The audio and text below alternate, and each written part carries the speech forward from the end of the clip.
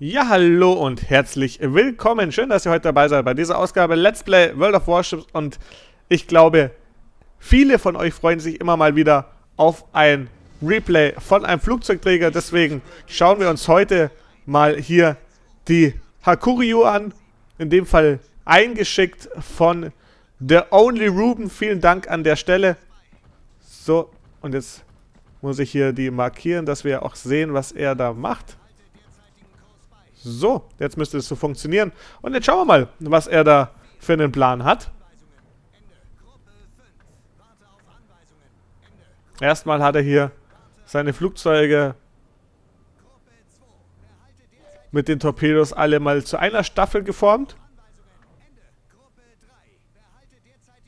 Ich mache es auch gleich langsam, aber zu Beginn erstmal ist es noch nicht so unübersichtlich, dass wir erst sehen, was ist denn der Grundplan. Und da sind erstmal die Torpedos alle in einer Staffel. Danach kommen dann ein paar nach. Und jetzt gehen wir in die Echtzeit, weil jetzt wird es spannender, wenn die ersten Gegner aufgehen. Schauen wir mal, was er da so reißen wird und wie er die setzen will. Shimakase. Da ist, sind, ist der erste Torpedo.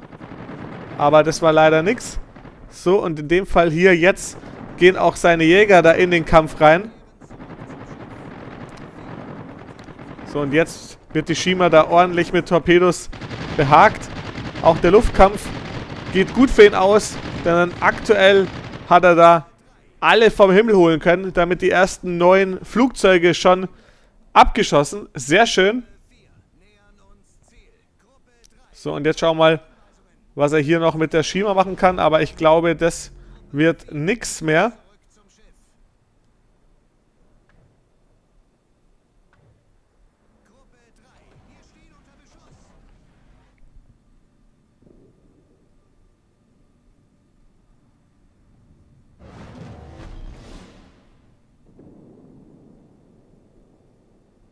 Und er achtet gleich, was der Gegner mit seinem Flugzeugträger so macht, mit den Bombern und auch natürlich hier den Torpedos. Und er schickt da seine Jäger mal rüber.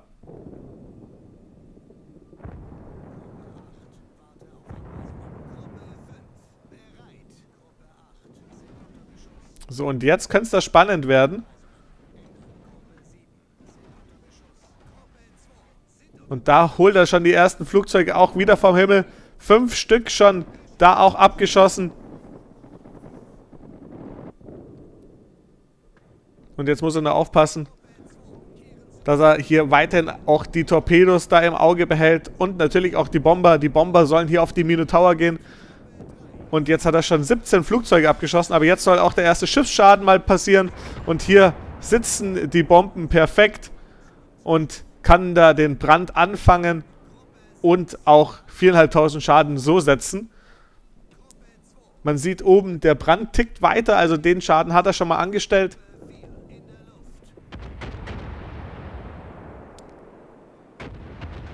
Schiff brennt lichterloh, also das Thema hat sich hier gleich erledigt und da ist er auch schon durch. So schnell ist ein 10er Schiff aus dem Spiel befördert.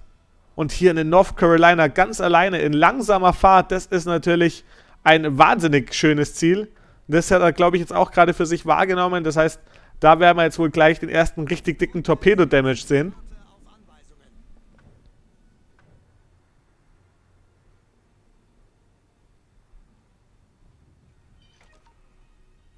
So, und er fliegt da auch schon hin. Die Missouri, die wird ihn nicht wirklich stören sondern er will die North Carolina, die da ganz alleine für sich rumtuckert.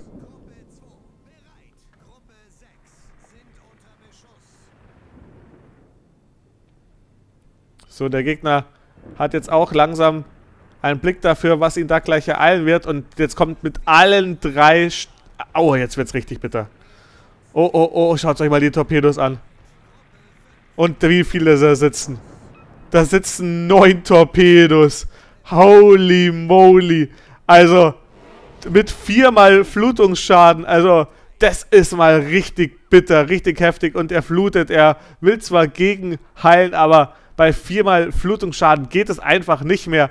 Also das war mal richtig, richtig krass.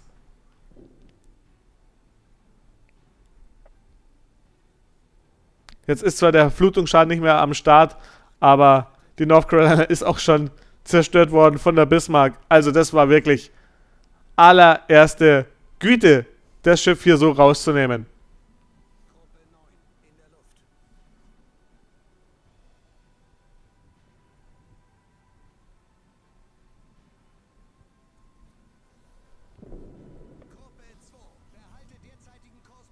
Und jetzt schau mal, was sein nächstes Ziel gleich da sein soll. Jetzt will er die Kurfürst wohl für sich beanspruchen. Zumindest mal mit ein paar Bomben begrüßen.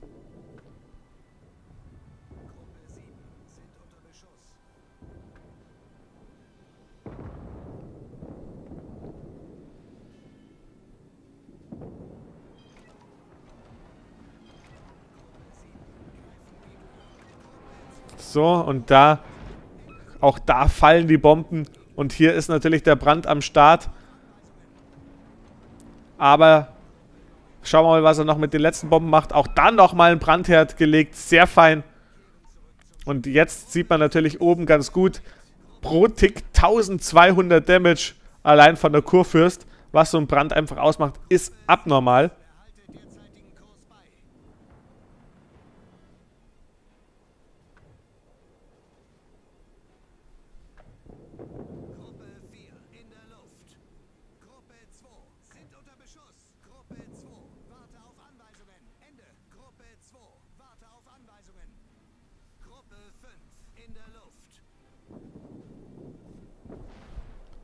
So, aktuell kein Brand mehr, dementsprechend tickt auch der Schaden erstmal nicht weiter.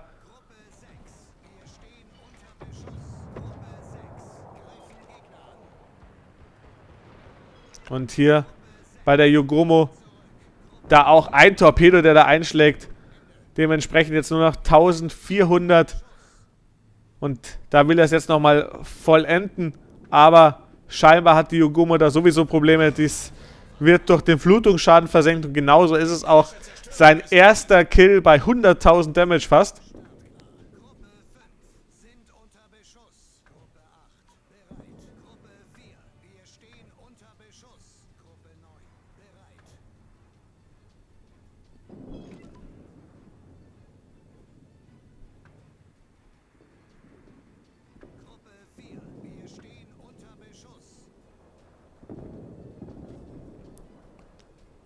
Die Kurfürst hier auch ganz allein. Das könnte hier das nächste richtig dicke Opfer geben. Und der Gegner schickt auch seine Torpedos gerade hier entlang. Aber da holt er seine Jägerstaffeln auch schon direkt dran. Also da dürfte es für die auch gleich passiert sein. Jetzt muss er aufpassen, dass hier die Torpedos jetzt ins Ziel kommen. Aber die dürften eigentlich sehr schön abgeworfen sein. Und da trifft einer, da treffen alle. Das gibt's doch nicht, Kurfürst. Warum acht? Wie kannst du dich denn von allen Torpedos treffen lassen? Mann, Mann, Mann, ey. So, und jetzt auch die Flugzeuge abgeschossen. Mittlerweile 18 Flugzeuge, die er da vom Himmel geholt hat. Da sieht man mal, er behält auch hierfür einfach weiterhin immer ein Auge. Der Gegner ist da einfach immer einen Ticken schlechter beieinander, als er das hier macht. Jetzt muss man aufpassen, weil er ist hier auf eine Insel aufgefahren, deswegen hier diese Warnmeldung.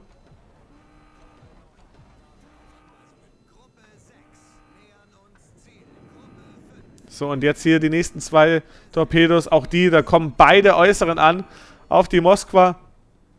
So, sein Schiff ist gestoppt. Und jetzt auch im Rückwärtsgang sieht man immer unten links ganz schön.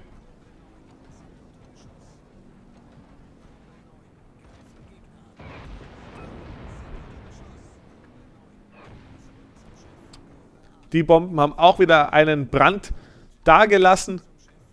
Und der tickt auch. Da kann die Moskwa jetzt gerade nichts dagegen machen. Das Spiel selber ist eigentlich von den Schiffen her sehr ausgeglichen. Beide Seiten haben fünf Schiffe bis dato verloren, aber sein Team hat alle Punkte für sich einnehmen können. Das ist natürlich phänomenal.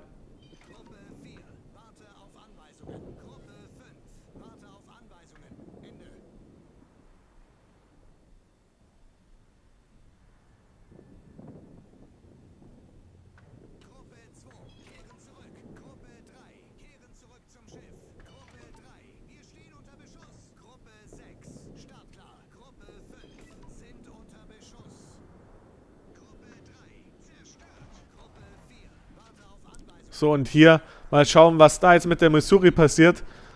Aber er hat wirklich ein phänomenales Talent, die Torpedos zu schmeißen. Und hier schon wieder fünf Treffer mit drei Flutungen. Da muss er natürlich sofort das wegreparieren, weil drei Flutungsschäden brauchen wir nicht drüber reden. Das wäre massivst schlimm.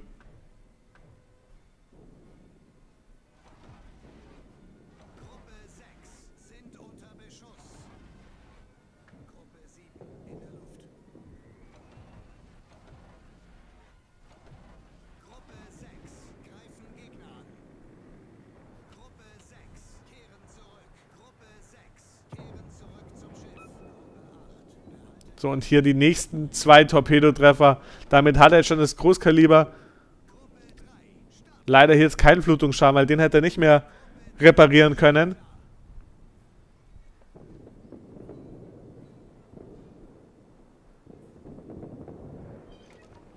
Aber wenn er den jetzt zum Brennen bringt, dann war es das, wobei, ja, Missouri ist gleich erledigt. Das sieht er, glaube ich, ähnlich, deswegen lässt er schon da ab und wird sich da auf die Kurfürst stürzen.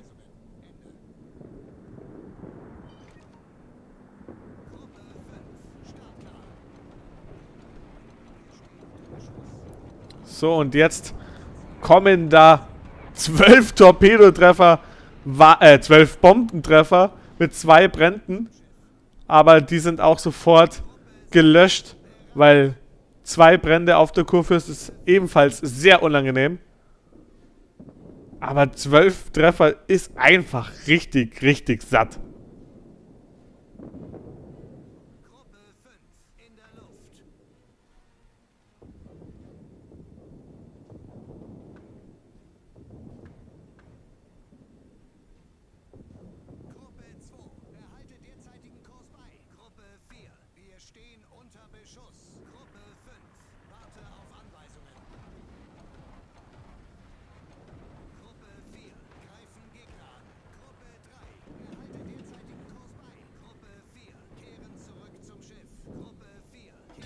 Und jetzt ist auch hier die Missouri weg mit den nächsten zwei Treffern. Also das ist einfach Wahnsinn, was er hier für ein Schlachtfest abliefert.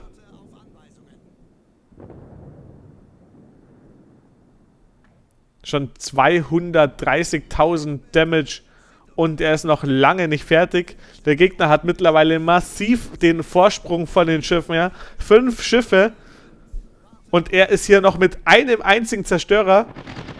Ansonsten hat der Gegner aber sowas von hier die Oberhand. So, und jetzt hier sollen da die nächsten Torpedos rausgehen. Richtung Kurfürst. Auch da sind die alle super abgeworfen. Einmal Wassereinbruch. Vier Treffer.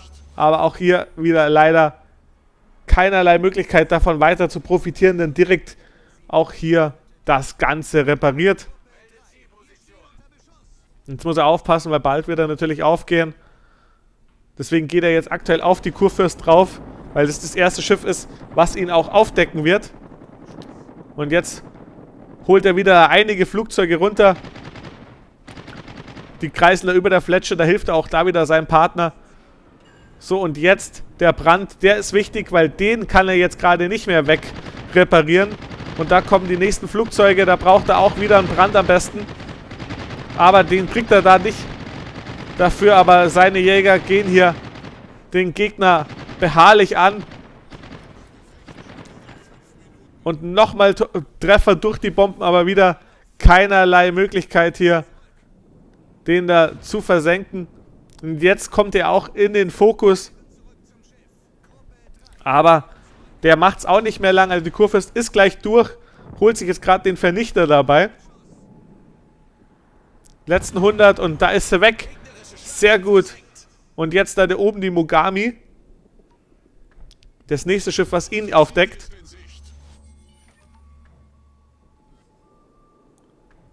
Anti-Air geht schon rund. Jetzt ist er ganz allein. Auch seine Fletcher ist mittlerweile zerstört. Also jetzt muss er es irgendwie alleine hinbekommen. Von den Tickets her liegen sie noch vorne. Er will jetzt wohl nicht auf die Mogami draufgehen, sondern orientiert sich nach hier drüben. Ist jetzt durch die Flugzeuge offen. Mogami dreht auch wieder ab. Also das heißt definitiv auf die Schiffe gehen, die im Westen von ihm sind. Das wird das größere Problem werden. Aber nee, er bleibt auf der Mogami. Mogami dreht jetzt auch rein. Und jetzt haut er da die Torpedos rein. Einen weiten Fächer und einen knappen. Und hier auch wieder da vier Torpedotreffer, zwei Wassereinbrüche, aber die sind natürlich auch sofort. Und da hat er aber nochmal ein paar. Und das schaut sehr gut aus. Und er bekommt auch schon hier das Lob von seinem Team, weil er macht wirklich eine super feine Runde. Leider da jetzt nur ein Treffer, da hat jetzt die Mogami gut gegengearbeitet. 304.000 Damage schon auf dem Zähler. Und sie brauchen nur noch 100 Tickets. Aber er ist halt der Letzte und das heißt, wenn er da nicht wegkommt, dann hat er halt ein Problem. Das Gute halt an den Flugzeugträger, dass er so verdammt schnell ist. Ihr seht es ja, 34,5 Knoten.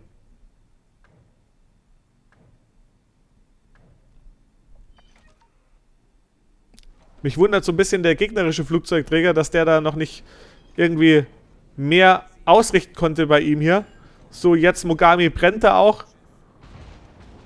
Und hier jetzt die nächsten Treffer auf ihm. Und jetzt kommen auch Bomben auf ihn. Sieht man unten an der Minimap ganz gut, aber wir bleiben natürlich hier auf der Action drauf. Und jetzt auch die Flugabwehrmannschaften, klar, weil seht ihr auch selber, da kommt einiges. Mittlerweile schon 43 Flugzeuge abgeschossen und es werden nicht weniger, ganz im Gegenteil. Die Flugabwehrmannschaft machen da auch einen guten Job auf seinem Schiff. Und jetzt hat er hier den versenken können. Also auch Mogami ist weg. Vier Kills, 315k Damage. Den Feueralarm, den kann er gerade nicht wegmachen, weil dafür hat das Feuer einfach schon genutzt. Zwei Brände hat er auf sich und jetzt kommt die Moskwa da auch noch deutlich näher. Aber ihr seht, die Tickets schauen super gut aus. Also er braucht nur noch 15 und dann ist das Thema geschafft. Aber 20.000 Damage, das ist einfach auf Messerschneide die Runde hier. Und jetzt muss er die Flugzeuge so positionieren, dass die Schiffe so ein bisschen abdrehen müssen.